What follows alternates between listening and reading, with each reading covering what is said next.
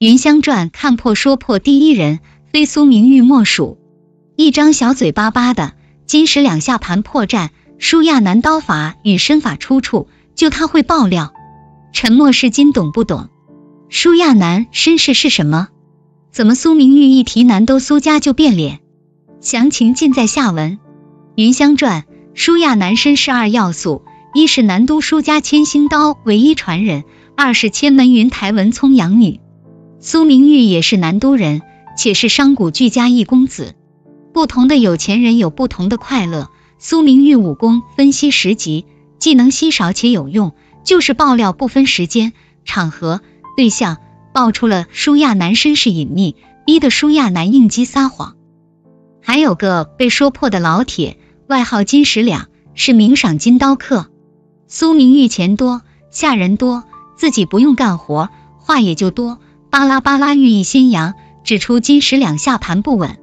金石两黑下脸，吐槽苏明玉并未出手，就知道说，然后就不太想搭理苏明玉。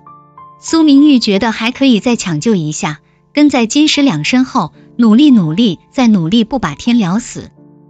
舒亚男耳力好，听苏明玉分析金石两，上赶着撞苏明玉枪口上，夸苏明玉竟有些真本事。苏明玉双手一拱，立刻马上转移分析对象。就决定是舒亚男了。划重点就是舒亚男刀法以守为攻，让苏明玉想起了南都舒家千星刀。原本面带笑意的舒亚男一听这茬，脸色瞬变。金石两说舒亚男不就是姓舒吗？正好说到了点子上。舒亚男这时已经做好了表情管理，推说都是巧合。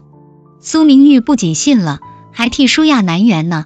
断言千星刀已经断了传承，可得了吧！千星刀唯一传人舒亚南就站在面前，有眼不识金镶玉，还一个劲卖弄。聊刀法不够，继续尬聊舒亚南身法，一扯就扯到了前朝金翼密探绝学。舒亚南脸色又是一变，并且光速转移了话题，就差捂住苏明玉嘴，不让苏明玉再说。如果苏明玉真是个大聪明。早该察觉不对。关于舒亚男的身世，人就是南都舒家后人，家中生变，搭上了千门云台，被文聪收养。还有个家破人亡的倒霉蛋云香，被云台掌门收为关门弟子，叫文聪一生文老。舒亚男、金石两、苏明玉凑到一块，并不是巧合，而是云香想通过他们查出自家灭门真相。四人组队，舒亚男。金石两都使刀法，一个重手，一个重攻。苏明玉使剑，武力值不重要，超能力加武功分析能力很加分。云香仅会限量版身法陶石溪，战斗力不够，脑子来凑。原著小说《千门》系列，舒亚男有个未婚夫，远在天边，近在眼前，就是苏家少爷苏明玉。由于舒家遭了变故，他们的婚约也就没作数。